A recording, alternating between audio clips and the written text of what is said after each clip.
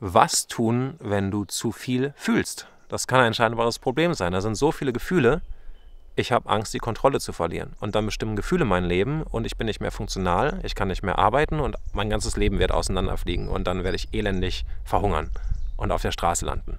So sah es mal in mir aus. Äh, ich dachte, das ist wirklich so. Und die befreiende Botschaft ist, nein, das Gegenteil ist eher der Fall. Das heißt, wenn wir versuchen, unsere Gefühle zu kontrollieren, dann kontrollieren sie bereits unseren Alltag.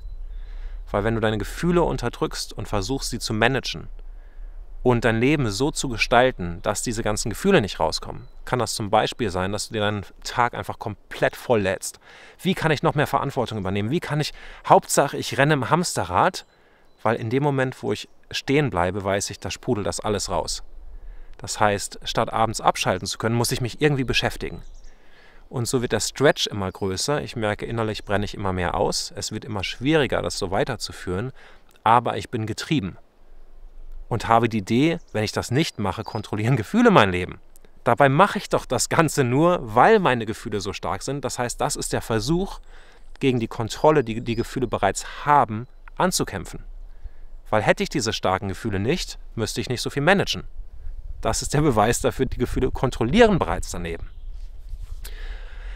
Und da das, wovor du Angst hast, schon bereits Realität ist, ist vielleicht die Frage, wie kannst du schaffen, dass nicht mehr deine Gefühle dein Leben kontrollieren, sondern dass du wieder der Captain bist in deinem Leben.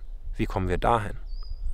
Und der einfache Weg ist dorthin, deine Gefühle zu erlauben und zu schauen, weil abstellen können wir sie nicht, sondern zu schauen, was ist ein konstruktiver Umgang damit. Stell dir vor, du hast einen Gartenschlauch, der so auf, voll aufgedreht ist und niemand hält ihn in der Hand und der spritzt einfach rum, der Grill vom Nachbar wird getroffen, der Nachbar auch du selbst auch und was weiß ich, das macht keinen Spaß. Das wollen wir nicht haben. Wenn du aber als, sag ich mal, Captain den Schlauch in die Hand nimmst und den Schlauch aufgedreht lässt und sinnvoll einsetzt, kannst du damit deine Blumen gießen. Würdest du den Wasserhahn zudrehen, dann würden die Blumen verdursten. Das heißt, das ist nicht die Lösung, die Gefühle loszuwerden. Dann ist die Frage, weil wir haben das halt leider nicht gelernt in unserer schönen Gesellschaft, wie wir mit Gefühlen umgehen können. Und daher kommt überhaupt der Gedanke, ich muss das Wasser abdrehen. Ne? Also wenn, wenn es kein Wasser gibt, dann gibt es Leben. Das macht keinen Sinn, wenn wir uns näher das Ganze anschauen. Und was dafür wichtig ist, ist erstens, dass es braucht Zeit. Das ist kein, yay, ich mache mir einen Termin bei einem Coach und dann weiß ich, wie ich mit Gefühlen umgehen kann, sondern es ist ein Prozess. Gerade wenn man mehr wahrnimmt als andere, und das sind eigentlich die Menschen, die großteils in meinem Umfeld sind und mit denen ich arbeite, wir müssen einfach erstmal neu lernen, dass es normal ist, so viel zu fühlen. Und dass das was sehr Positives ist. Weil da, wo viel Wasser ist, können auch viele Blumen mit Wasser versorgt werden. Und da kann viel Leben entstehen.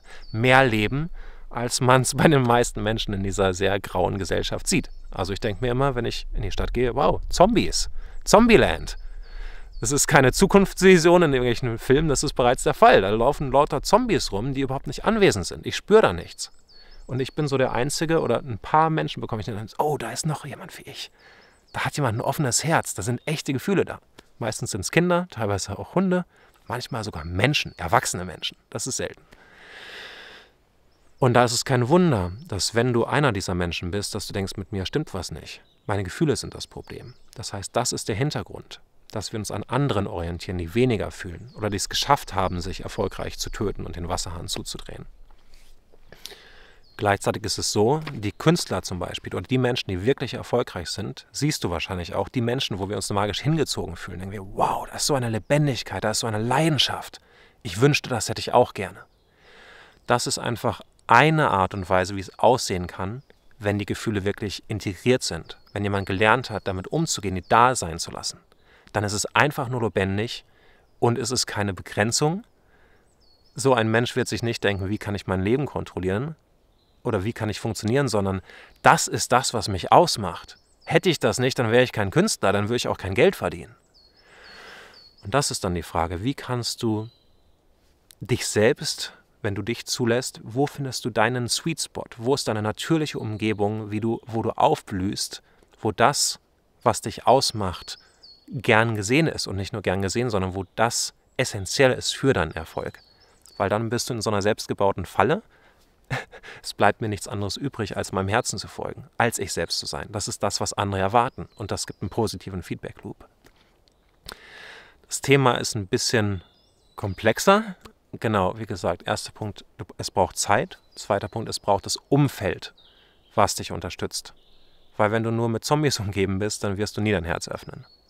Und deswegen habe ich vor zwei Jahren die Selbstcoaching-Ausbildung für bewusste und wahrnehmungsstarke Menschen gegründet, das Authentic Empowerment Network, wo wir genau diesen Rahmen haben, dass einfach Menschen da sind, die genauso sind wie wir, die genauso verrückt sind oder nicht in diese Norm passen von so einer ganz winzigen Box. Und der dritte Punkt ist dann, es gibt einfach bestimmte Coaching-Tools und Prinzipien, zum Beispiel das Prinzip der Annahme.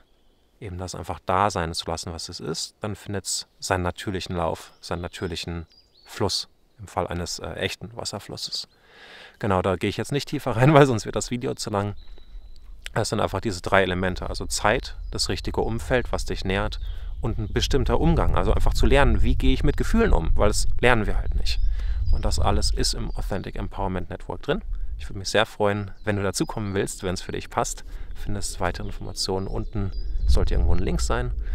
Und vielleicht sehen wir uns dann bald im nächsten Workshop. Das Ganze findet übrigens online statt, es sind alle zwei Wochen ein Workshop, es gibt immer die Aufzeichnung, es gibt ein paar Videokurse, die du auch jederzeit selbstständig erforschen kannst.